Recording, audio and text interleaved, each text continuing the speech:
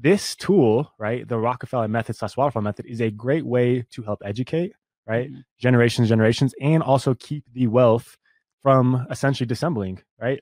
If, As long as you have good trustees of the trust that are Yep. doing their job and dispersing it exactly how you designed it to be, where you can only use the funds for business, for income producing activities, charities, passions, things like that, and not blowing it on stuff that is not significant, right? Based Yep. off of the the sinful nature of the world. Yep. If if they can do so in a way where you have designed it, there is no way that this money can essentially ever leave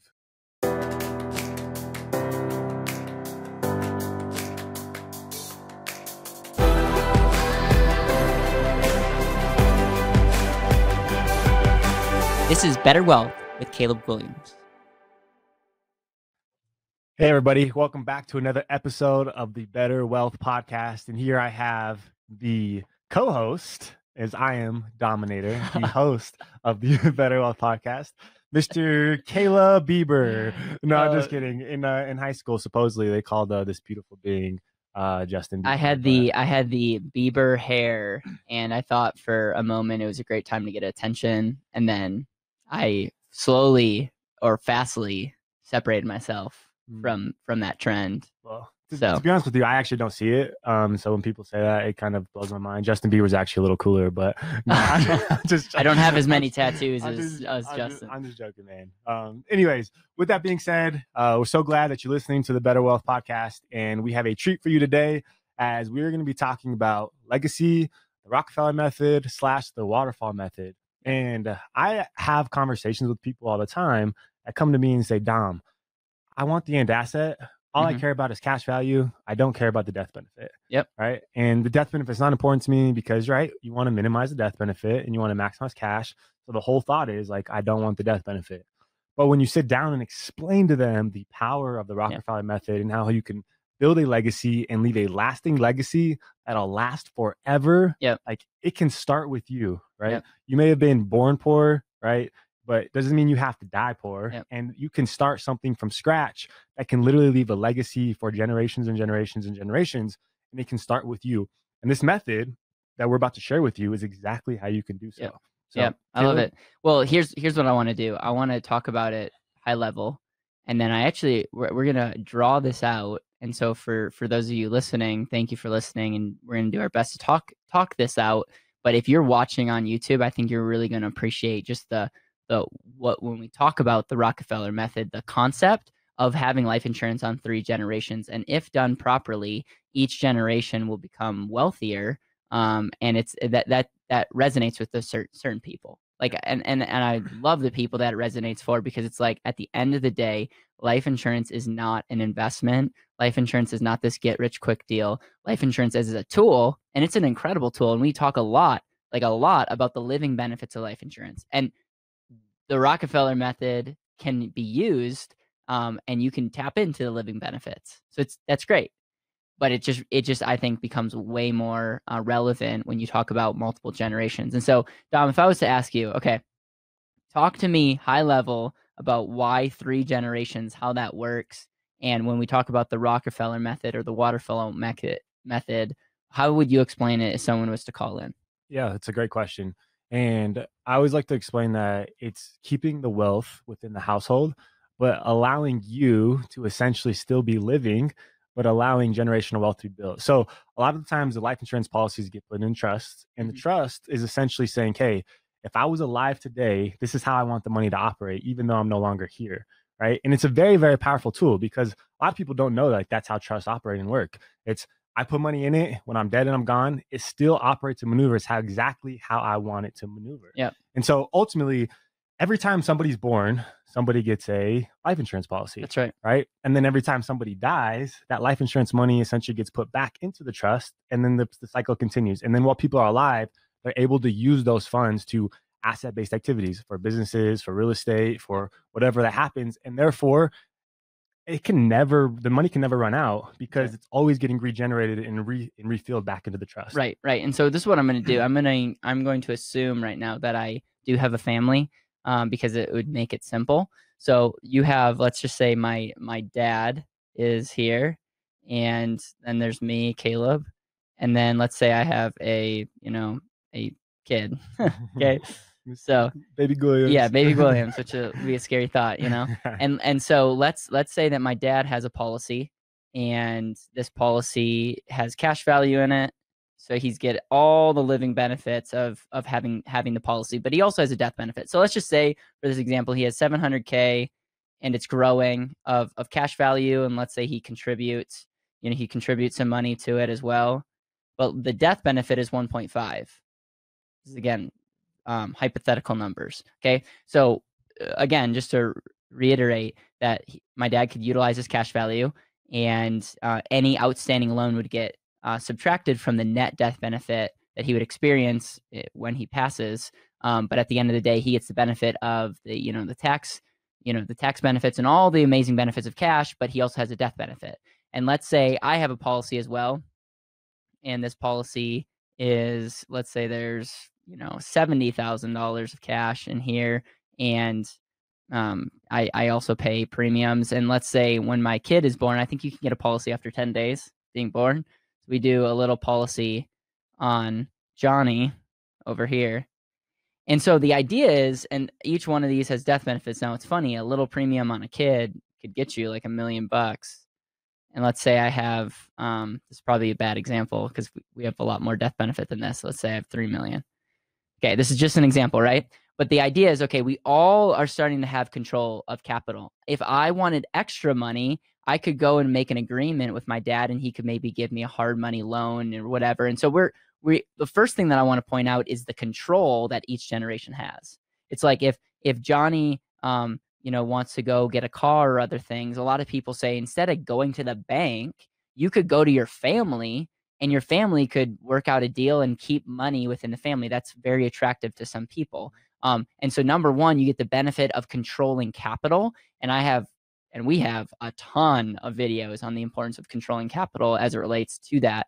Um, but but what ends up happening is when when my dad passes away, my dad passes away, this death benefit's got to flow somewhere. Mm-hmm. And the idea is for this money to then flow to the next generation. You see why this is called the waterfall method or the Rockefeller method because each generation will get a death benefit and regardless if my dad would, let's say my dad was a disaster when it comes to his wealth and he just did horrible things, this this death benefit would ultimately redeem his mistakes. Mm.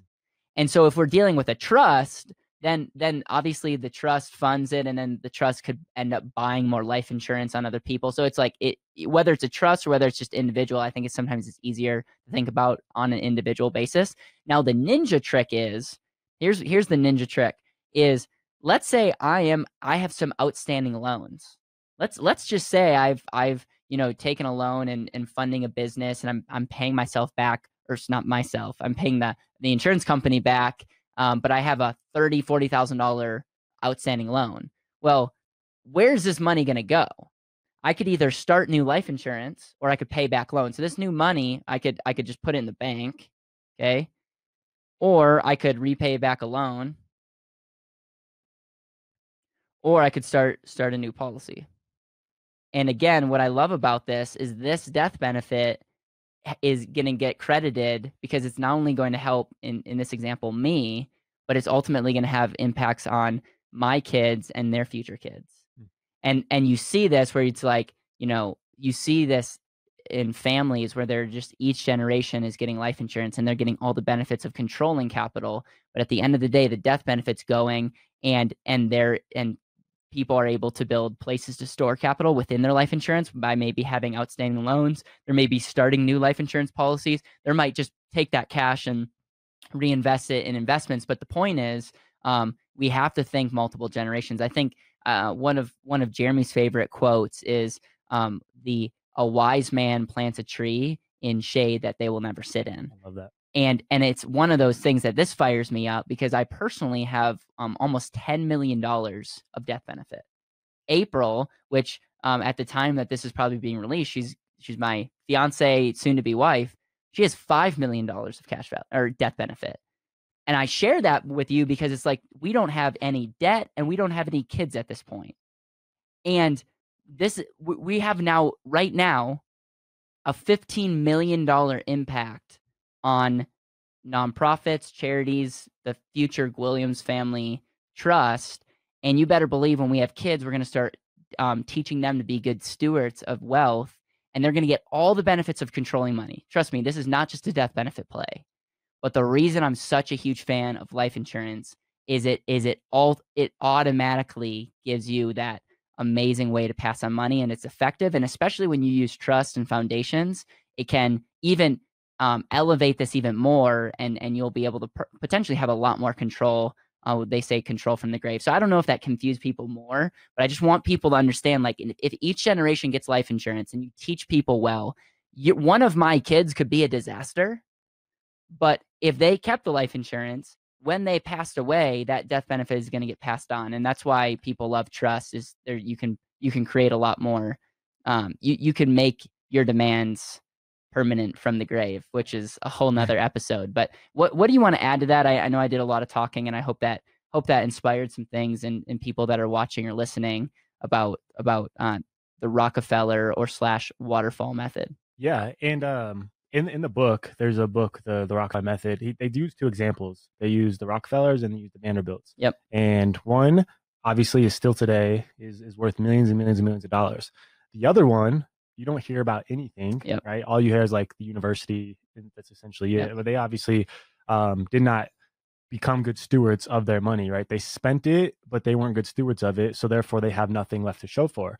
So this tool, right, the Rockefeller method slash waterfall method is a great way to help educate, right, mm-hmm. generations, generations, and also keep the wealth from essentially dissembling, right? If, as long as you have good trustees of the trust that are yep. doing their job and dispersing it exactly how you designed it to be, where you can only use the funds for business, for income producing activities, charities, passions, things like that, and not blowing it on stuff that is not significant, right? Based yep. off of the the sinful nature of the world. Yep. If if they can do so in a way where you've designed it, there is no way that this money can essentially ever leave. Because even if they were to take a max loan, if they die, the death benefit just essentially pays for the loan, and then there's still funds to re to re go back into the trust, yep. start another policy, and you know to do other things with. Yeah, so, and uh, this I want this next statement to be very universal. Is no matter what um, who's in power, who's president, what what the policies are currently, look at the trends of where other countries are going and ask yourself, what are taxes going to be? Are there going to be more restrictions on passing down money? And all these things and, and what, what what ends up happening is the more bad things in the future that that could happen, life insurance and proper estate planning is elevated. Because proper estate planning and and the use of life insurance together can be some of the greatest ways to preserve wealth and pass wealth on to the next generation. And we just, we're just nerds because we want people to utilize their life insurance policy while they're alive and thrive. Whereas majority of people that do estate planning agree, but they're like, I don't get this whole use your money while you're alive kind of deal. So, anyways, um, thank you so much for listening, watching on YouTube. Um, we are really excited because we have this thing called the And Asset Vault. Do you want to do you want to say anything about the And Asset Vault? Yeah, for sure. But first of all, um, you're a nerd, not me. Not, we are. No, I'm just kidding. No, I'm. I'm a very, very big. These nerd. are for nerds or people that want to be more effective just, in their kidding. life. No, you know. I'm a high, high nerd. My favorite. My favorite board game is chess. I love Rubik's cube. I love doing rooms. I'm a nerd. Uh, and life insurance for me to be an and asset specialist is nerdy in itself. But uh, the and asset vault is essentially anything and everything and asset related there's going to be calculators there's going to be illustration examples there's going to be case studies q&a faq there's going to be so much information where you can go get plugged in you can scroll through the entire vault yep. you can learn all the information in regards to what you know is involved with the and asset how you can use it ways that it can be used design etc and i think it's just going to be an extremely powerful way for you to get educated um, and to learn about you know the and asset and how we specifically use it um, with the people that we serve. Yeah, it we're making it very very selfishly because we know that if we can share all this information, I mean, when we talk about case studies, we have case studies about real estate, retirement, entrepreneurship. We have CD alternatives. Like we went we went to town on just case studies examples. We have a we have like I, I want to say hundreds, but close to hundred uh, plus frequently asked questions. We we have a calculator that we have to be careful with, but it gives you the general idea. I know that you we we even put together like an illustration. I wanted to call it War Room, but it's like an illustration cheat sheets where you'll be able to see some examples. We have a whole and asset playlist that that is not on YouTube.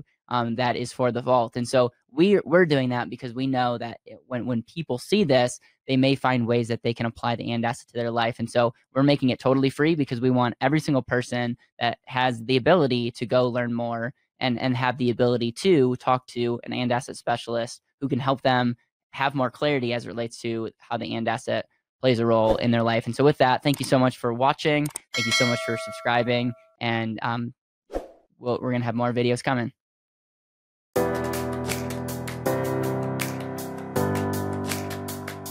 Thank you so much for listening to the Better Wealth Podcast. It would mean the world to me if you could hit subscribe, leave a review, and share this with the people that you know and love.